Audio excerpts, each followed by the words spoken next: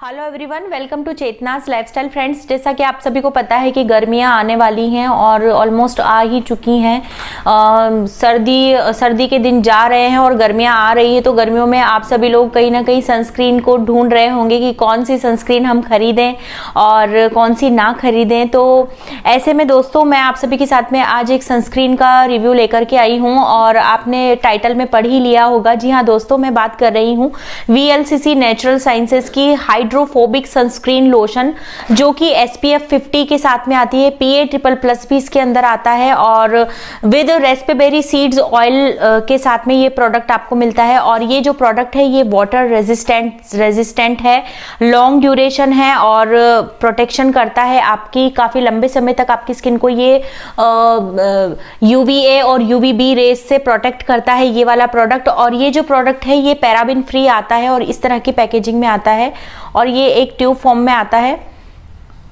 और मैंने काफ़ी सारे काफ़ी सारे ब्रांड्स की सनस्क्रीन को यूज़ किया है तो मैंने सोचा कि इसको भी मैं आप सभी के साथ में शेयर करती हूँ।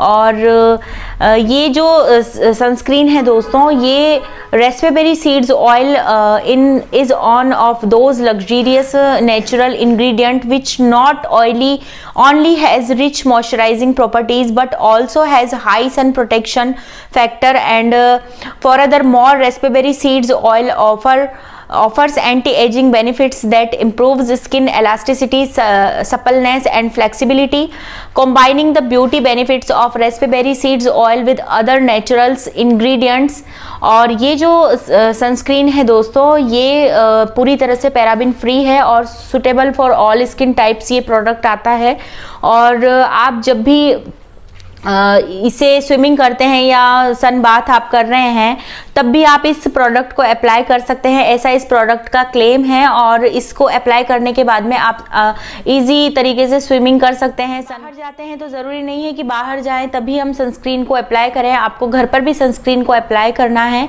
और जब भी आप बाहर जाते हैं, तब तो आपको डेफिनेटली इसको अप्लाई करना है सनस्क्रीन को अप्लाई करना है और जब भी आप बाहर जाते हैं तो बाहर जाने से पंद्रह से बीस मिनट पहले आपको सनस्क्रीन को अप्लाई करना है देन आप आपका कोई भी मेकअप अप्लाई कर सकते हैं। सनस्क्रीन को अप्लाई करने के 10 मिनट्स बाद आप कोई भी मॉइस्चराइजर या कोई भी मेकअप आप अप्लाई कर सकते हैं। और इसको आपको जब रीयूज रीअप्लाई करना है तो आपको फोर आवर्स के बाद में आपको इसको रीअप्लाई करना है। तो काफ़ी अच्छा टाइमिंग आपको मिल जाता है कि फोर आवर्स के बाद आप इसको री रीअप्लाई करें। और दोस्तों, इसकी जो क्वांटिटी है, वो है 100 ग्राम एंड इसका जो शेल्फ लाइफ है, वो है three years and three seventy five rupees में ये आपको प्रोडक्ट मिलता है। और ये जो प्रोडक्ट है, वो आप सभी को मैं बताना चाहूँगी कि जिनकी बहुत ज़्यादा ड्राई स्किन होती है, वो इस प्रोडक्ट को डेफिनेटली परचेज कर सकते हैं और काफ़ी ज़्यादा अच्छे तरीके से ये आपकी स्किन को प्रोटेक्ट करता है। और इसका जो टेक्सचर है क्रीम का, वो मैं आपको बता देती हूँ, ये इस तरह से आता है। और सॉरी काफ़ी ज़्यादा ही प्रोडक्ट बाहर आ गया है। और ये जो प्रोडक्ट है वो इस तरह की कंसिस्टेंसी में आता है। और इसे मैं अच्छे तरीके से ब्लेंड करके आपको दिखाने वाली हूँ। और सबसे जो इसके अंदर एक चीज़ मैं आपको और बताना चाहूँगी कि ये जो प्रोडक्ट है, ये हल्का सा वाइट कास्ट छोड़ता है। जब भी ये पूरा एब्जॉर्व हो जाएगा तो उसके बाद में मैं आपको बताना चाहूँगी कि ये थोड़ा सा वाइट कास्ट छोड़ेगा प्रोडक्ट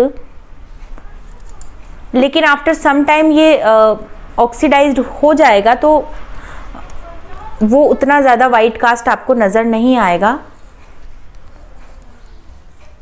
और ये मैंने अप्लाई कर लिया है और आप देख सकते हैं कि थोड़ा सा वाइट कास्ट इसने छोड़ा है। आ, लेकिन ये मैट फॉर्मूला के साथ में आता है तो उतना ज़्यादा आपको बेकार से नहीं लगेगा फेस पर। और जिनकी ड्राई स्किन है स्पेशली ड्राई स्किन वालों के लिए ये जो सनस्क्रीन है, मैं सजेस्ट करूँगी और ड्राई स्किन वाले इसे ज़रूर से परचेज़ कर सकते हैं। और जिनकी ऑयली स्किन है, वो तो इसे बिल्कुल भी परचेज़ ना करें, क्योंकि ऑयली स्किन वालों के लिए बिल्कुल भी ये प्रोडक्ट नहीं बना है, क्योंकि ये बहुत ज़्यादा ऑयली हो जाता है लगाने के बाद में। नॉन ग्रीसी फॉर्मूला इसका बिल्कुल भी नहीं है। हाँ ये जब लगाते हैं तो मैट लुक आपकी स्किन को देता है लेकिन ये आ, मुझे ऐसा लगता है कि ये ड्राई स्किन वालों के लिए और नॉर्मल स्किन वालों के लिए ये प्रोडक्ट बेटर रहेगा। ऑयली स्किन वाले इसे बिल्कुल भी ना खरीदें। तो दोस्तों आज का रिव्यू आप, आपको कैसा लगा मुझे ज़रूर कमेंट करके बताइए। अगर आपको अच्छा लगता है तो लाइक ज़रूर कर दीजिएगा शेयर कीजिए मेरे इस वीडियो को। एंड uh, मेरे चैनल को सब्सक्राइब करना आप बिल्कुल भी ना भूलिए।